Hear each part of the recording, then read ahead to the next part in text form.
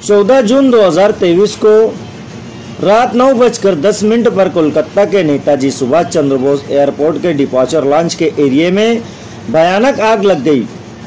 आग लगने की वजह से पूरे एयरपोर्ट पर भगदड़ मच गई।